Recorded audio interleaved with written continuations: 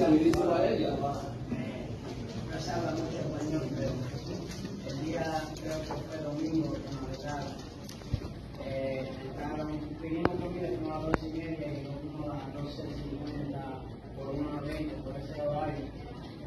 Y eh, oímos un poco la puerta.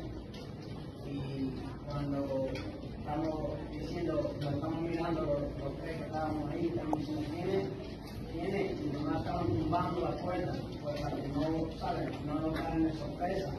Cuando lo, abrimos así para ver, ellos empujaron la puerta y dice, tenemos una orden de arresto, orden de arresto, Tejachi está aquí, Tejachi está aquí. Y cuando yo me moví adentro del baño, porque el cuarto es como el tamaño de esto para paredes chiquitos, ellos agarraron los dos amigos míos y los... ah,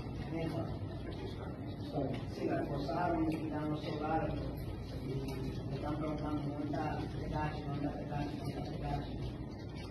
Ah, yo me escondí en el baño como dos horas y me estaban diciendo, si yo era, que estaban pidiendo cuarto, yo digo, yo no tengo cuarto. Pues a las 7 vino al hospital. Oh, no, no, después se fueron y dijeron que no podíamos entrar porque no tienen orden de... Sí, pues dijeron, ya la puerta abierta y se quedaron ahí. Y toda la gente, todos los videos de Instagram, eh, había como 300 gente afuera. Ellos no tenían orden, um, pues yo no podía salir nada, nomás lo tenían todo sonando. Y así pasó, pero. Oh, I mean, um,